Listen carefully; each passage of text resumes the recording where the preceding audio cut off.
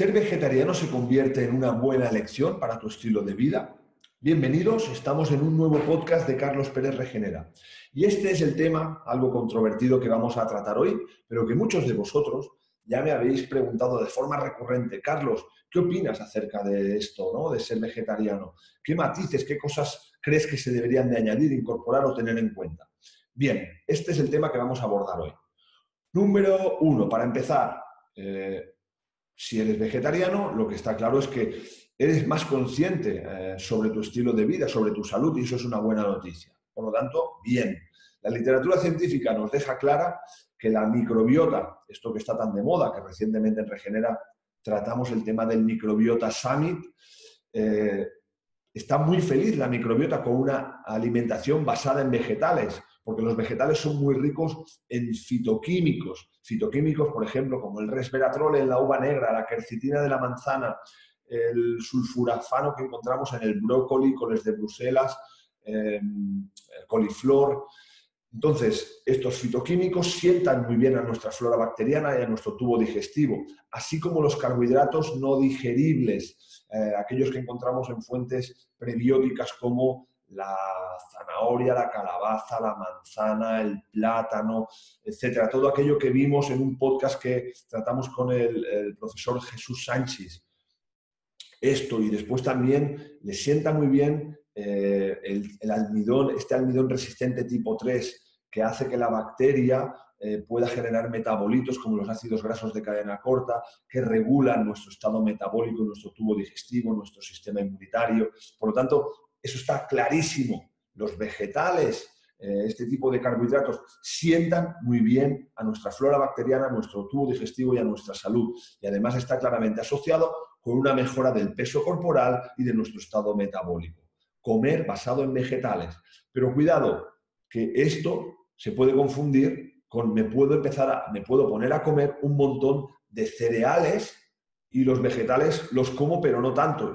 Estoy siendo vegetariano, no es así, eso es erróneo. Cuidado porque esos cereales no son ricos en fitoquímicos, no son ricos en carbohidratos no digeribles. Además, si son más refinados, si son blancos, son muy densos tienen tendencia entonces a incrementar el peso corporal y a desregular nuestro pH del estómago y fastidia nuestra flora bacteriana. Y los integrales, cuidado, que tampoco tienen estos fitoquímicos, tampoco no son carbohidratos eh, no digeribles y tienen también antinutrientes que pueden sentar eh, algo peor a nuestro tubo digestivo y a nuestro sistema inmunitario.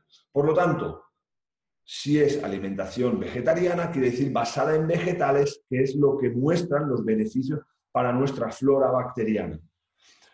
Con esto, eh, ¿qué decir? Si alguien está comiendo de esta manera y su salud es maravillosa, impecable, todo funciona espectacularmente bien, tampoco tiene que cambiar nada, está todo perfecto. Este podcast lo vamos a hacer precisamente para explicar aquellas cosas que sí que se podrían presentar, que esto también lo explica la literatura científica. De la misma forma que dice que sienta muy bien a ese nivel, de lo que acabo de explicar, también tiene una serie de limitaciones, ejemplo, como la vitamina B12, pero otras cosas, unas cuantas cosas más que las vamos a describir. Entonces, si tú has elegido esta forma de alimentarte y estás sufriendo por ese problema, se te puede encender la bombilla y pensar, bueno, pues quizá tengo que matizar algo, tengo que ajustar algo mi alimentación, porque es verdad que estoy sufriendo de este problema. Entonces, eh, bien, esto como punto de partida y a partir de aquí considerar, considerar lo siguiente. Nosotros, eh, y siempre me habéis oído hablar del concepto de biología evolutiva para enmarcar nuestros, eh, nuestra toma de decisiones de cómo debería ser nuestro, ser nuestro estilo de vida para acercarnos a un estado de salud o enfermedad, eh, vemos que desde la biología evolutiva tenemos un tubo digestivo que el chimpancé se caracteriza por tener un intestino grueso, muy grande, muy largo. Entonces, ese intestino grueso estaba diseñado para comer raíces fibrosas. Y vemos como en un momento dado de la evolución ese intestino se va reduciendo, se va haciendo más pequeño todo él, sobre todo se hace pequeño el intestino grueso, y crece el intestino delgado eh, a favor del desarrollo de nuestro cerebro. Esto está, es conocido como la eh, hipótesis del tejido caro, eh, expuesta en la literatura por la doctora eh, de la Universidad de Londres y nos propone cómo entonces nuestro tubo digestivo efectivamente estaba diseñado para comer exclusivamente vegetales. ¿eh? Y entonces nuestros, los primates que vas por detrás de nosotros, estaba, su alimentación estaba basada en eso. Y efectivamente, pero a partir de ahí generamos un cambio en nuestro tubo digestivo y generamos un intestino delgado más eh, grande y un cambio también progresivamente en el pH de nuestro estómago, que esto ya lo he ido citando también en otros podcasts. Eh, debéis de saber que tenemos un pH del estómago que es mucho más cercano al de un eh, buitre o al de un halcón, a los animales carroñeros, que al de un mono o un elefante que son exclusivamente eh, vegetales, que comen vegetales.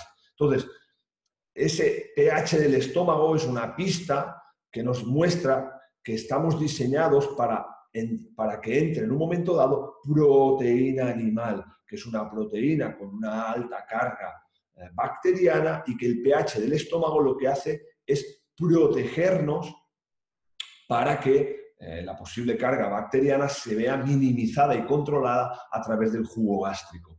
Por lo tanto, esto es una primera muestra clara, es una primera muestra que nos deja eh, evidente que el estómago está diseñado para comer proteína animal. Eso lo dejamos aquí, un detalle, insisto, sin que esto quiera decir que haya, que cambiar nada. En esta línea, en esta línea, eh, el chimpancé comiendo vegetales eh, se plantea como para obtener unas 400 calorías, debe de estar comiendo prácticamente una hora, estar masticando esas raíces fibrosas durante una hora. Entonces, eh, nosotros, si comiéramos de esta forma, pero esto ya sería crudo y vegano, es decir, vegetales y además crudos, deberíamos de estar comiendo unas 4 o 5 horas esas raíces fibrosas para alcanzar la carga calórica de 1500, 1800, 2000 y pico calorías que necesita nuestro cuerpo y especialmente en nuestro cerebro. Por lo tanto, eh, en la literatura también dejan claro cómo la alimentación cruda y vegana, que es otra alternativa a la dieta vegana, eh, está asociada con una eh, menor ingesta de calorías y está asociado con una menor fertilidad con una reducción de la capacidad de fertilidad en la mujer por el hecho de generar una menor entrada de carga calórica. Por lo tanto, de nuevo, eh, que esto es, hemos mezclado cosas, ¿eh? es decir, ahora era crudo y vegano, pero estamos hablando del vegetal, del vegetal lo que ha supuesto en la evolución, de que efectivamente el chimpancé, los, los primates que iban por detrás de nosotros se alimentaban de vegetales, ok, pero eh, que en un momento dado nuestro tubo digestivo ya genera este cambio, nuestro estómago genera este cambio y que a partir de ahí una de las claves también, eh, esto es algo eh, publicado por el doctor Richard Granham de la Universidad de Harvard, cómo el, el uso del fuego, la llegada del fuego genera un papel determinante también por el hecho de la cocción de los alimentos, que eso permite un cambio también eh, conformacional en nuestro tubo digestivo. En ese sentido, la introducción del fuego se asocia a también un cambio de la dentadura. Eh, los, los, chimpancés, los monos, tienen unos dientes más, mucho más eh, importantes para poder digerir, una dentadura muy potente para poder digerir estas raíces fibrosas. Sin embargo, la evolución de nuestra dentadura, una dentadura más pequeña, está asociada a la introducción del fuego, a la cocción de los alimentos, donde ya esta dentadura no es tan importante para poder masticar, porque está facilitada por el uso del fuego. Bien, entonces eh, vamos a ir citando ahora, vamos a dar paso a esto que decíamos, que si otras cosas presenta la literatura científica que asocian con la dieta vegana. Eh, y ahí, como decía, identificarse esos síntomas y vemos qué soluciones se le podrían dar. Bien, ya hemos dicho una que era el pH del estómago. El comer vegetales lo que implicaría es que el pH del estómago pierda su capacidad de, de, eh, mantener el jugo gástrico en 3, que es nuestra nuestro estado fisiológico y ese pH tiende a alcalinizarse, generando un mecanismo conocido como la hipocloridria, la deficiencia de jugo gástrico. Esto en clínica se asocia con enlentecimiento de la digestión, digestión pesada.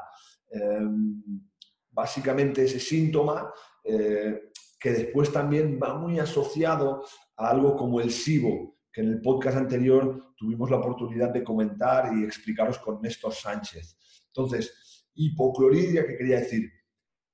Me cuesta digerir, tengo una digestión pesada, una digestión lenta, está en muchas ocasiones asociado con una proliferación del Helicobacter pylori, esta bacteria tan habitual en, nuestros días, que mucha gente pues sufre, que sepa, ya lo sabrán, que no es nada más que una bacteria que tenemos todos, pero que en un estado concreto del pH prolifera.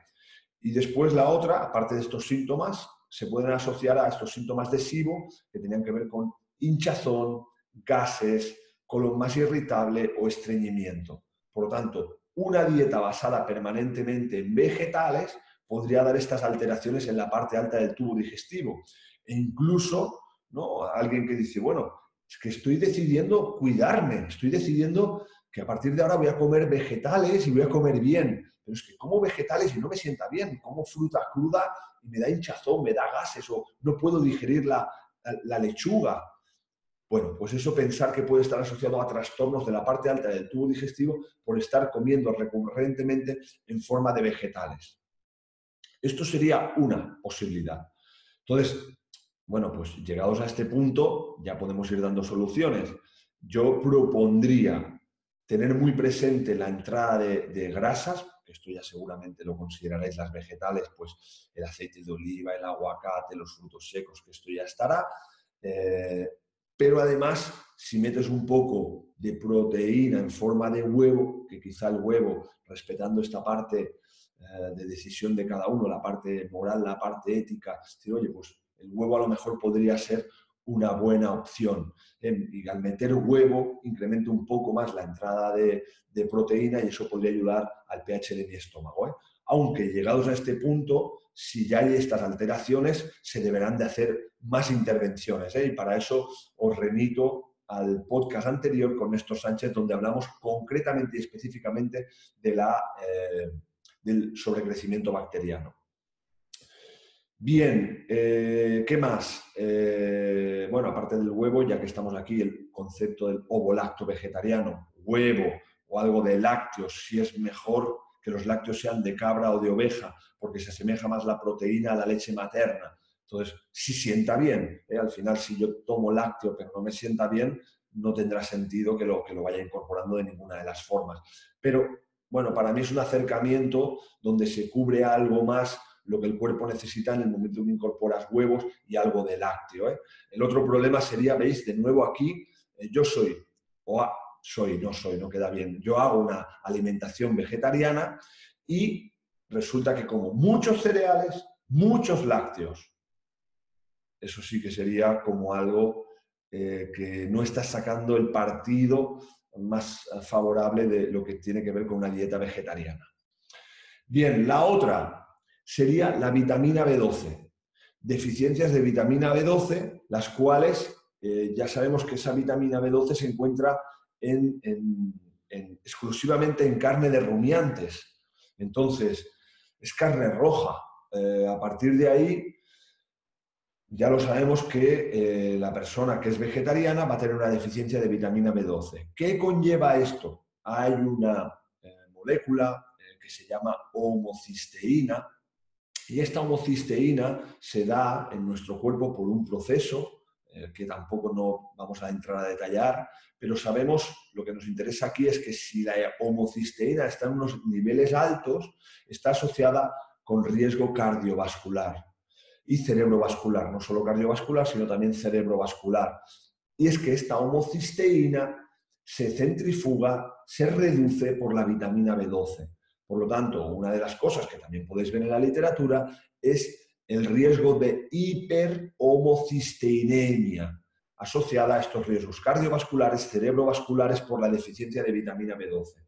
Si habéis tomado esta lección, pensar y controlar la vitamina B12 para que eh, no tengáis el riesgo de sufrir problemas a este nivel. Segunda cosa, por lo tanto, sería la vitamina B12.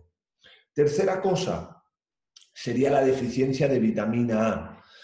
Podríamos pensar que lo podríamos obtener desde el betacaroteno, pero es que el betacaroteno es mucho menos absorbible por nuestro tubo digestivo, solo se absorbe hasta un 20%, y de cada, de cada 20 moléculas de betacaroteno obtenemos una de vitamina A. Mientras que la vitamina A, cuando la comemos, especialmente la encontramos en la proteína animal, una fuente que es rica es la yema del huevo, otra fuente es el hígado, aunque siempre insisto que el hígado debe de ser biológico de calidad, es muy rico en vitamina A.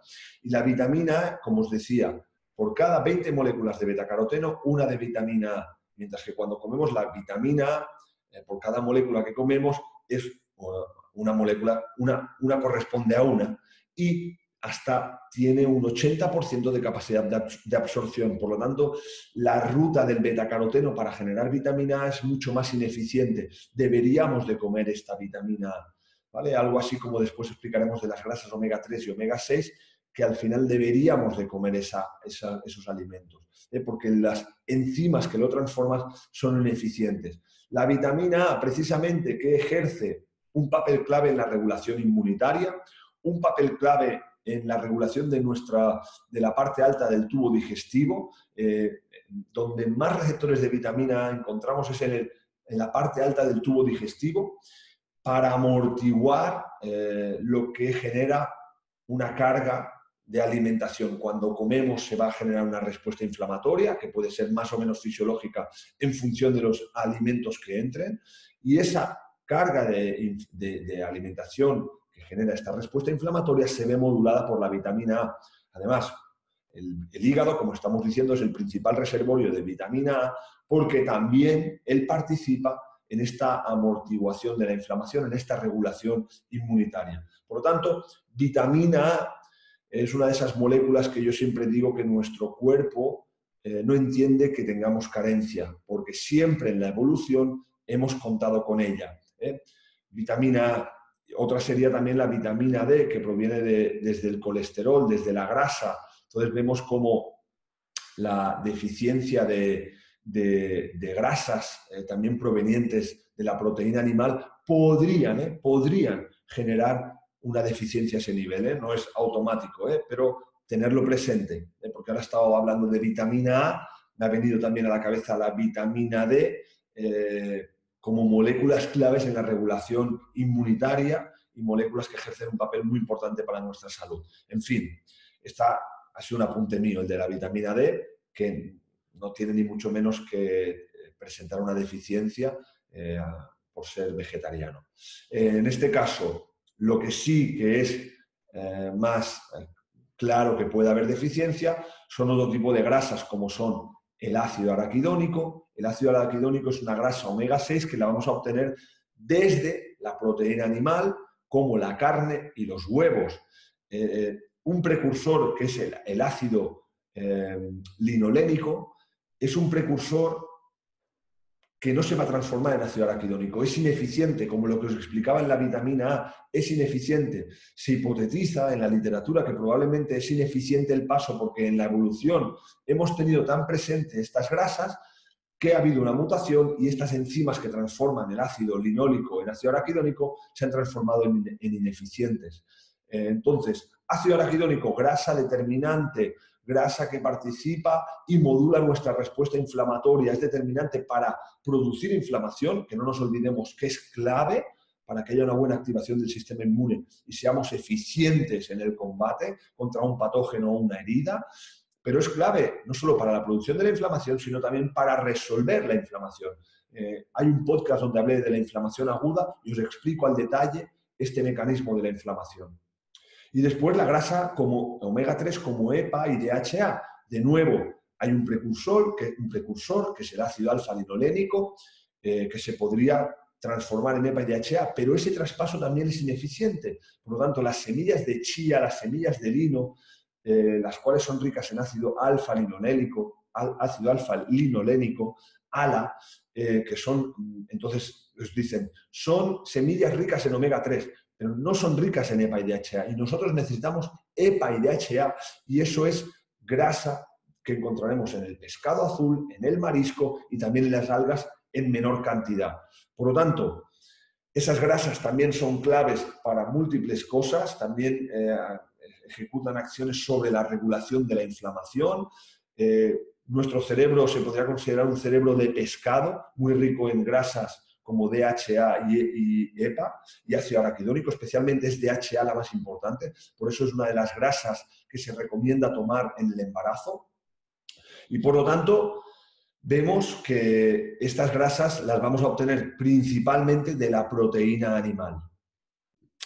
Por lo tanto, eh, el no ingerir proteína animal, nada, ni huevo, puede generar, puede generar deficiencias, alteraciones del pH, del tubo digestivo de la parte alta, deficiencias de vitamina B12, que, insisto, la B12 con el huevo no se cubrirá, deficiencias de vitamina A, que sí que se cubrirá con el huevo, y deficiencias de ácido araquidónico, que sí que se cubrirá con el huevo, y de EPA y de HA, que en este caso no, porque tiene que ver con pescado azul o marisco. Por lo tanto, yo cuando algún alguna persona, algún paciente me viene a ver y es vegetariano, ¿qué miramos de ajustar?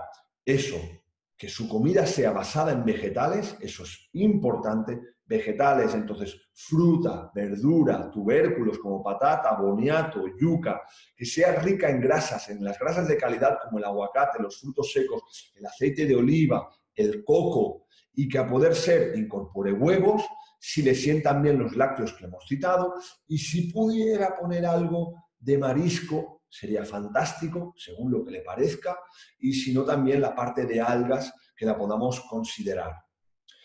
Esto es la, recomendación que yo propongo. Alguna cosa que también me había dejado, que quería recordar también es, eh, una, también está asociada en la literatura, lógicamente, con la anemia, porque va a haber una menor entrada de hierro. El hierro hemo, el hierro más absorbible por nuestro tubo digestivo, también lo encontraremos especialmente en la carne roja, en el hígado. El hierro que encontramos en los vegetales es un hierro no tan disponible, un hierro no hemo. Por lo tanto, la deficiencia de hierro eh, también podría ser algo que podríamos encontrar. Y después también se habla de eh, deficiencia de proteínas. Eh, deficiencia de proteínas me vengo a referir en deficiencia de materia prima para la creación de músculo. Entonces, que se genera una cierta sarcopenia, una cierta deficiencia de masa muscular. Esto también se podría presentar en alguien que es vegetariano. Bien, eh, esto es lo que hay. Yo entiendo y respeto profundamente la parte moral y ética de su elección. Eh, es verdad que yo me sumo a ello, eh, sí que como proteína animal, pero trato de que esta proteína animal sea eh, animales que han vivido felices y han vivido, eh, que los han respetado en su trato, en su crianza y finalmente en la matanza, que lo han hecho con el máximo respeto. ¿no? Entonces yo me sumo a, ese nivel eh, pues con esto, pensándolo así de esta manera. Y, insisto, como decía al principio, os planteo que ahora será vosotros mismos, ¿no? en función de vuestro estado de, salud, que decidáis ajustar un poco más o menos, tal como os he dicho. ¿no? E incluso a partir de ahí, lógicamente, usando suplementos pues, de vitamina B12, suplementos que tengan que ver también con eh, aceite de krill para poder reforzar la, vía de la grasa omega 3. Bien, eh, no quería dejarme también algo que vi en un estudio también, en un estudio de caso control, donde comparaban un grupo de personas que se alimentaban de forma vegetariana versus a un grupo de, es decir, al grupo de intervención, dieta vegetariana, versus al grupo de control, que no lo hacía, ¿no? Y es interesante porque citaban también cómo encontraron, eh, creo que fue después de unas tres o cuatro semanas, eh, bueno, encontraban, simplemente para tenerlo en cuenta, no tiene que ser siempre, pero encontraban deficiencia también de taurina. La taurina es un neurotransmisor, lo podríamos considerar semi-esencial, quiere decir que lo debemos de comer si no vamos a tener carencia, porque nuestro cuerpo no lo puede producir endógenamente y a pesar de que tenga el mal nombre la taurina, porque se puede asociar con bebidas energéticas, pensar que la taurina, eh, el, principal alimento donde lo encontramos mayormente es en el calostro y en la leche materna. Es muy rico porque participa de una forma determinante en el desarrollo de nuestro sistema nervioso central. Entonces, eh, la comida basada en proteína animal, porque la taurina la encontramos especialmente en carne, pescado, huevos. Eh, la taurina hace un, juega un papel importante en el desarrollo cognitivo, juega también un papel importante en, la buena función de la retina y también en, la buena función del jugo biliar. Por lo tanto, también sería responsable del enlentecimiento del tránsito intestinal. Aparte de la taurina, también encontraríamos deficiencias, plantean en este estudio de cisteína y de glutatión. Eh, entonces, el glutatión, la cisteína es un precursor de glutatión, ambos actúan generando una respuesta eh, de detoxificación. El glutatión es el principal detoxificador endógeno de nuestro cuerpo y, por ejemplo, ejerce un papel muy importante en la función tiroidea. De trastornos tiroideos podrían estar asociados con una deficiencia de glutatión, ya que juega un papel muy importante en la regulación en el tirocito. Por lo tanto, eh, vamos a revisar síntomas que se podrían dar cuando uno selecciona una, alimenta, una alimentación basada en, en, vegetales, como podrían ser esto que acabo de explicar de tiroides, pensar en tiroides y en una posible deficiencia de glutatión, también eh, la tiroides podría estar funcionando mal por una deficiencia de hierro, también podría estar funcionando mal porque si hay una hipocloridria vas a absorber peor hierro, eh, que ya entra poco y lo absorbes peor, vas a absorber peor vitamina B12, que ya entra poca y la absorbes peor, e, y también otros minerales. Entonces, eso sería una posibilidad. La siguiente cosa serían estos trastornos, el lentecimiento del tubo digestivo, especialmente de la parte alta, que podría acabar ocasionando colon irritable o estreñimiento. Después también eh, a, nivel de, a nivel menstrual, pensar que eh, puedes tener más problemas menstruales cuando, por ejemplo, por un lado, no hay la entrada de grasas que participan en la resolución de la inflamación Sabemos que la menstruación finalmente es una herida que debe de resolver, una herida que, sufre una inflamación y que debe de resolver esa inflamación. La carencia de grasas va a, que, va a hacer que esa inflamación no se resuelva también. Y por otro lado, pensar que si tenéis síntomas del tubo digestivo, hay un mayor estado de inflamación, la capacidad eh, de detox, la capacidad de detoxificación hepática se reduce, eh, enlenteciendo, empeorando la detoxificación de las hormonas sexuales, con lo que también esto puede ser un mecanismo que acabe ocasionando problemas menstruales.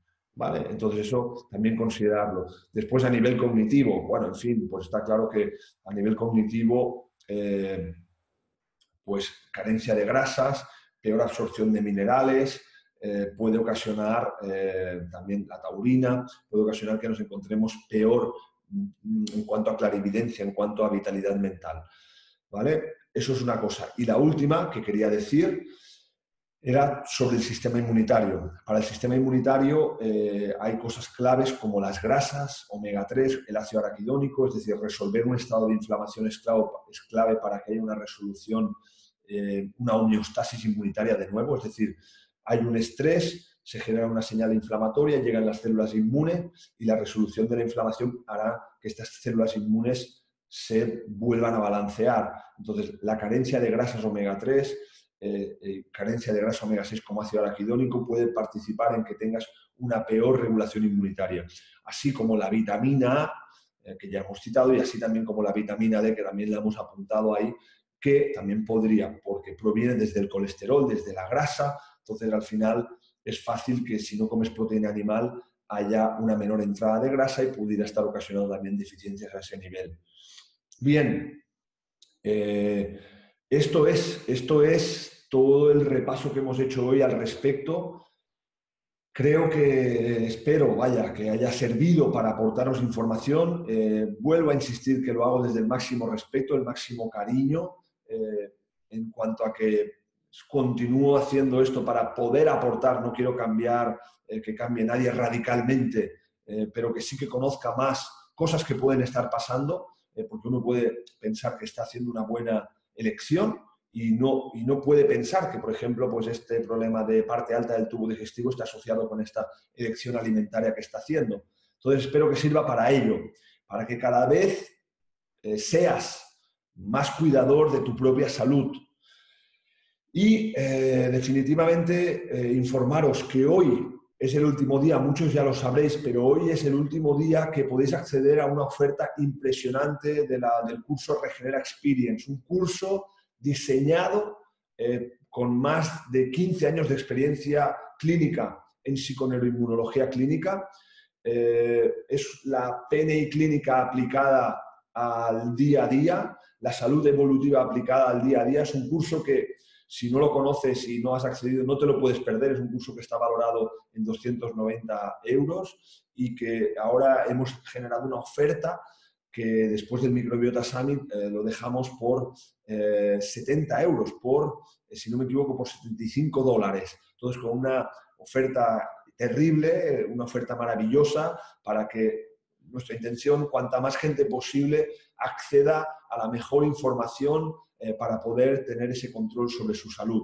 Es un curso que veréis que tiene eh, eh, unos 24 vídeos, se divide en bloques, entonces hay un bloque que trata el, tubo digestivo y este concepto evolutivo, un bloque que habla sobre la alimentación y además tendréis como regalo el libro de mis recetas paleovida, después un bloque que habla sobre ejercicio físico, eh, porque no existe la persona sedentaria sana, y os regala un mes de la aplicación Mammoth Hunters para que os empezáis a mover sin excusas.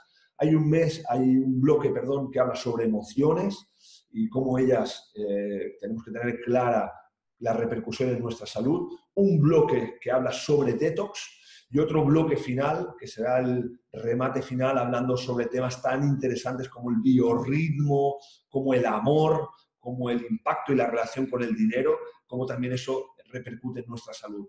Es un, curso espectacular que lo tenéis a vuestro alcance con este precio eh, y que eh, lo podéis después, nosotros lo hemos programado para que eh, se vaya haciendo semana por semana, es un, es un timing que proponemos, pero después tenéis seis meses para poderlo llevar a cabo y poder reforzar muy mucho vuestros conocimientos, profundizar mucho sobre toda esta, todo este conocimiento científico tan y tan bonito que nos aporta tanto en nuestra salud.